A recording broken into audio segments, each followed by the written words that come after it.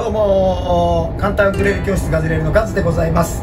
今日はですね ガズ旅の一環というか番外編みたいな感じでですねちょっと今あの、プチ旅に出てるんですけどどこに向かってるかというと岐阜県に向かっています、えー、皆さんあの覚えておられるでしょうか？ちょっとこの写真見てもらいたいんですけどあのー、2月だったっけ？3月だったっけ？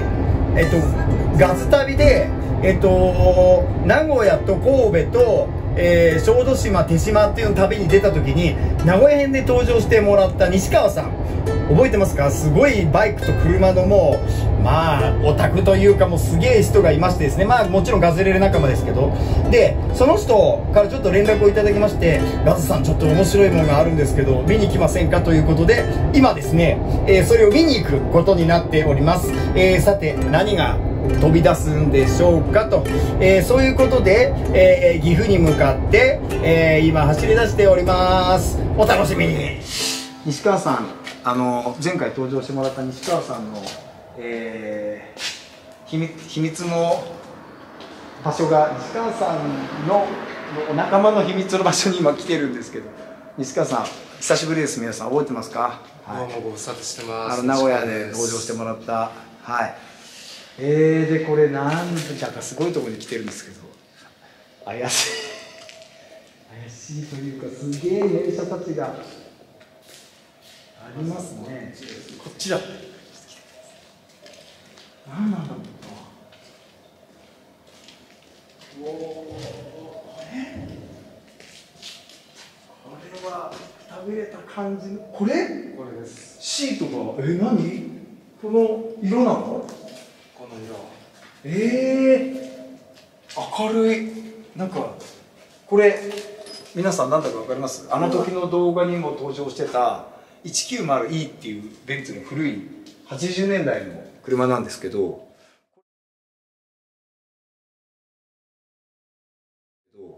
これ西川さんがもう秘密のルートで手に入れててこれからこう直していくわけですねこれを。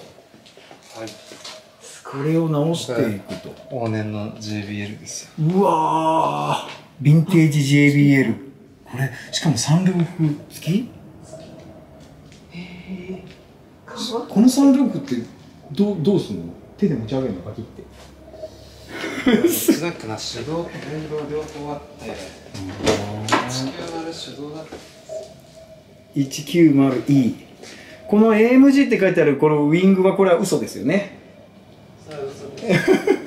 いやでもすごい。うわーすげえ。うわーこういうふうになってなってるんだ。電動っぽいじゃないですか。電動ですね。おおかっちょいい。この間見たね。前回の動画で出てきた同じこの左ハンドルなんですねこれね。左です。オートマで。190E ってこの間もちょっとね、西川さんの動画でご紹介したんですけど、まあ、リンク、あの、概要欄に前回のご紹介のやつを、えー、貼っとくんですけど、わ、かわいいな、このインパネの、これ。いいよね。チェックの。このさ、これが可愛くない？確かに、確かに、確かに。かご、かごっていうか、ザ、網がね。そうそうそう。閉まってないよ、これ。これも超可愛い色がすごいねそうミラーねこれを西川さんがちょっとこれから手を入れて直していくということなんですけどなんかちょっとこれをカズさん乗ってみないかっていう話があるんですよで西川さんがこういう大好きな車をえっ、ー、とまあ直してあのー、ご自身でねそんな乗れないからね。なんか、ね、体一個しかないんで。そう、体一個しかないから、なんか、ガズさん乗れませんかっていうことで、え？乗りたいって言って今日見に来たんですよ、実は。もう、それはこれはもう、こんな夢のようなヴィンテージカー。これがだから、どんな風になっていくのか、ちょっとこれを、そして、果たしてガズさんが本当にこの車に乗ることができるんでしょうか なんでとんでもない動画になってますけど。これ何年式ですか ?84 です。80、1984年、はい僕小学校6年の時じゃんかっちょいい。ちっちゃいねやっぱり。小さい。190E これはいい。いい顔してる。へえこれをあずさんが乗る日が来るんでしょうか。ジムニーと一緒に。そしたらね梢さんはジムニーに乗って車の運転をまたして。はい。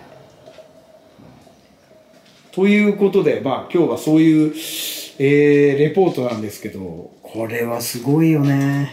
このベンツのエンブレムといい。すごい。どうですか？ハニーさん、この、すごいこの 190E は。すごい可愛いかわいいね。こういうさなんかちょっとしたこうカクッとなんていうのまるっとカクッとしたことが本当だね。このストレートなラインといいね。ドアも重たいよね。うん閉められないぐらい重たいよ。おお。この音。前回は中が青っぽかったんだね。そう、いや、こんな明るいベージュだといいね。うん。これはこれでまたいい。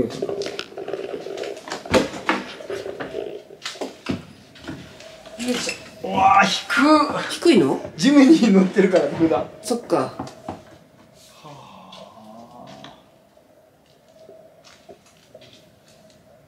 はあ。すごいやれてますよ。すごいね。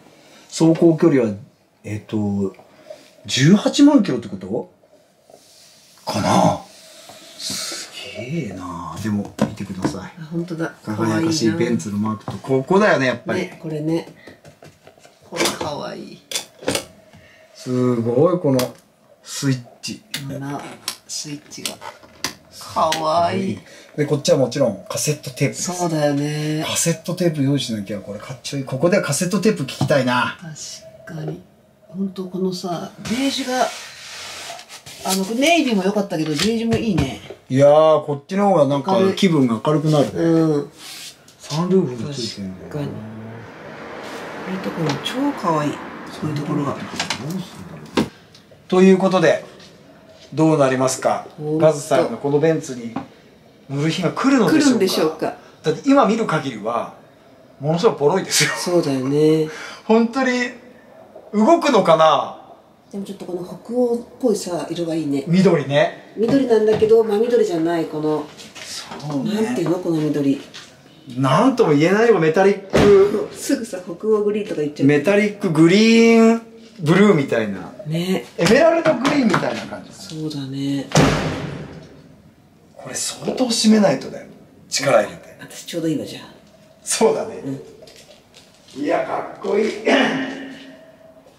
この後ろの顔見た？そうね。これが可愛いんだよこのなんここなんていうの？テールランプね、うん。レンズね。このさ形が。そうね。この感じは今ないね。可愛いね。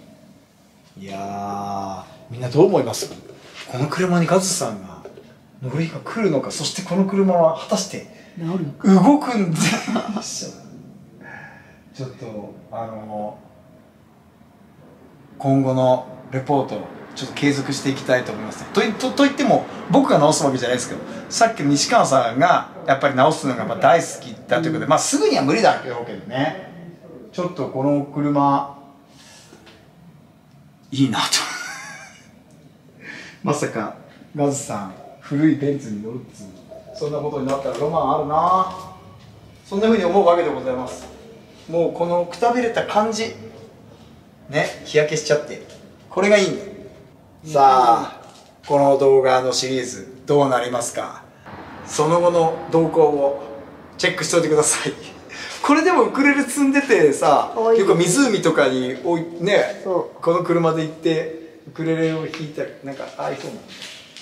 まずさんもうもう一台おわあ何これ。超かわいい。フロンテシャンテええー、めっちゃかわいい。やばいこのロゴ。かわいい。ええー、これめちゃくちゃ渋い。これ本当にここにスペアタイヤ入ってるんですか？入ってますね。え 360cc そう。だからかンプかんかのバッテリーが死んどるすげえなこれ。かわいい。私こっちの方がいい。ちっちゃい。もう見てこのめっちゃスーパーちっちゃい、えー、何これ。え映るのかな？映んのあ映ってる映ってる。かわいい。まだ顔がすごいね。このロゴも超かっこいいやん。かわいい。かかってますよそのぐらい。このミラーとかも。えちょっと待ってミラー？本当だかわいい。ポケモンみたいな何かの。そしてこの顔。何これ？かわいい目をねかわいい。クロちゃんみたいだこのこのロゴをちょっと撮ってるすげえかっこいいんだけど。本当だね。何これ。この小ささがもうやばいへえ。シャンテ。色がまたすげえな。そうね。しかもめっちゃ綺麗だねこれも。はいそういうわけで、えー岐阜のなんか不思議なとこにあの連れてきてもらったわけですけどどうなるんでしょうかあのベンツは。ガスさんがどういうことになるんでしょうか。まあちょっとこれからの展開をはい。お楽しみにしておいていただければと、まああのねあの今聞いたらあれすごいすごい勢いで乗れる車だということなのでなんかちょっとおいおいこの報告がしていければと思います。また次の動画お楽しみにしてください。西川さんでした。はいありがとうございました。はいそういうわけで、えー今岐阜でね、えーちょっと車を、えーあのエレガントなめちゃくちゃ古い、えーメルセデス・ベンツ190えーいいっていうのをもう見見せてもらったんですけど、まあ、あれをですね要はあのー西川さんの体一つだからやっぱりねいろんないい車を持ってるけどなかなか自分で乗れないからガッツさんがもしね気に入って乗りたいなと思って、えーくれるんだったらこの車乗ってみますか？っていうふうに言っていただいててえー？ってなってじゃあの乗りたいなっていうふうに、まあ、話が進んでいる状状況に今なったよという感じなんですけどさあこの後どうなるでしょうか？この動画は、えーまたシリーズとしてお届けしていきたいと思います。まああのねあのベンツであればウクレレにほんとぴったりだなと思うしなんかねすごい素朴で可愛くて素敵なんで今かなり、えーいい感じだなと思ってます引き続きこの動画のシリーズお楽しみください。このジムにも小杉さんとガズでもうもうワンワン乗りますからね。じゃあねー。